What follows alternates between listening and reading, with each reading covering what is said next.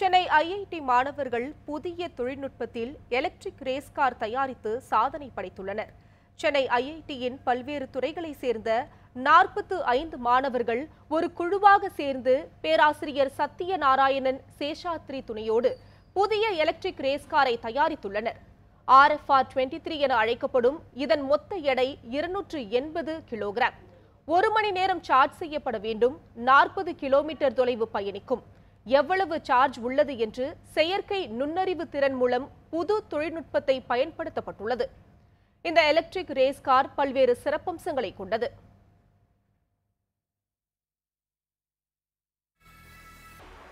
மின்சார உந்துதலால் அதிக முடுக்கத்தை பெற்றிருப்பதால் எரிபொருள் வாகனத்தை விட இந்த கார் மிக சிறந்த முறையில் செயல்படும்.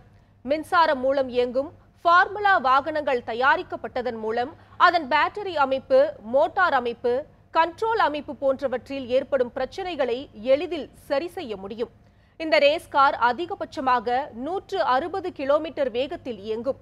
மேலும் வாகனத்தை இயக்கத் தொடங்கி முதல் நான்கு வினாடிகளிலேயே இதன் வேகம் நூறு கிலோமீட்டரை தொடும் என்று இதனை தயாரித்த மாணவர்கள் தெரிவித்துள்ளனர். இப்போ கொரோனா வைரஸ் தாக்கம் தாக்கம் வந்ததுனால ரெண்டு வருஷம் எல்லாருமே வீட்டில் தான் இருந்தோம். ஸோ இந்த வீட்டில் இருந்த நேரத்தையும் நாங்கள் வீணடிக்காமல் வண்டியோட முழுவதுமான டிசைன் சிமுலேஷன் அதுக்கப்புறம் வண்டியில் ஏதாச்சும் பிரச்சனை வருமா அப்படிங்கிறதுலாம் சிமுலேட் பண்ணி எது எது எல்லாம் டிசைன்லாம் ஃபுல்லாக ஃபைனலைஸ் பண்ணி வச்சுருந்தோம். இப்போ இந்த ஒரு கடந்த ஒரு வருஷத்தில் இங்கே நாங்கள் கேம்பஸ்க்கு இங்கே வந்ததுக்கப்புறம் ஃபுல்லாக மேனுஃபேக்சரிங்கெல்லாம் ஆரம்பித்து எல்லா பார்ட்ஸையும் அசம்பிள் பண்ணி இப்போ இந்த காரை நாங்கள் பண்ணி முடிச்சிருக்கோம். இப்போ இந்த கார் வந்து நம்ம இப்போ டெஸ்ட்டு பண்ணி கொஞ்சம் பண்ணியிருக்கோம் இன்னும் இன்னும் கொஞ்சம் டெஸ்ட் பண்ண போகிறோம்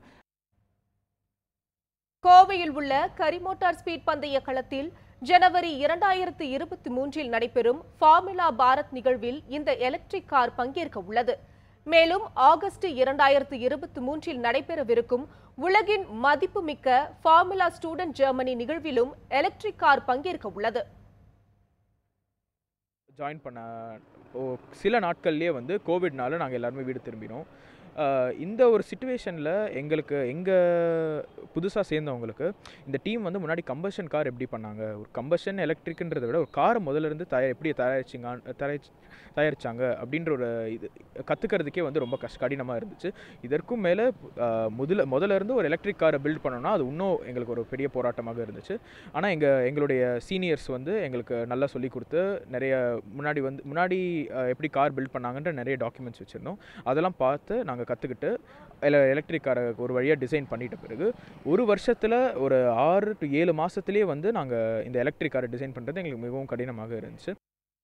பாதுகாப்பான மற்றும் நிலையான மின்சார வாகனத்தை உருவாக்குவதற்கான முயற்சிகள் உலகம் முழுவதும் நடைபெற்று வரும் நிலையில் சென்னை ஐஐடி மாணவர் குழு தயாரித்துள்ள இந்த எலக்ட்ரிக் கார் வருங்காலத்தில் மின்சார வாகன உற்பத்திக்கு மிகப்பெரிய தூண்டுகோலாக இருக்கும் என எதிர்பார்க்கப்படுகிறது.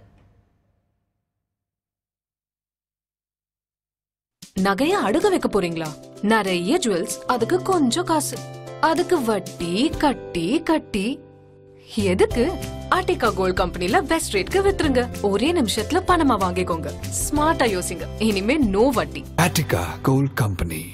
Call triple eight zero three hundred three hundred